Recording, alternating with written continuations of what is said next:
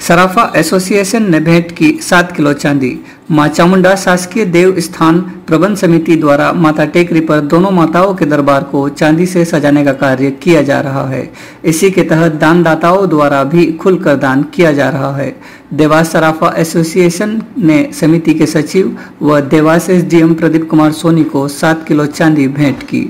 साथ ही स्वर्णकार समाज ने ग्यारह हज़ार भी दान स्वरूप एसडीएम को सौंपे। इस मौके पर देवास सराफा एसोसिएशन के अध्यक्ष दिलीप सिंह चौधरी, पूर्व अध्यक्ष राधेश्याम सोनी, पूर्व अध्यक्ष संजय जैन सचिव ऋषि सोनी मनी सोनी, शिरीष मेहता, देवेंद्र सोनी सहित एसोसिएशन के सदस्य मौजूद थे। से जो माता जी की लिए चांदी इकट्ठी की थी, वो आज हमने एसडीएम साहब को दी है, करीब सात किलो चांदी दी है। साथ ही सोलह समाज से ग्यारह हज़ार रुपये का चेक भी दिया गया है।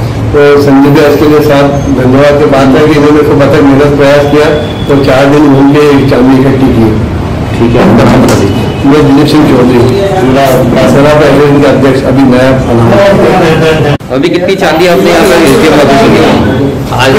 का आज एसोसिएशन की ओर से सात किलो तीन सौ पचास ग्राम चांदी हमने माता जी के टेकरी के लिए दी।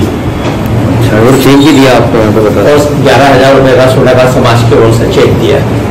आपका नाम मैं राधेश्याम सोनी मनी राम जी के पुराने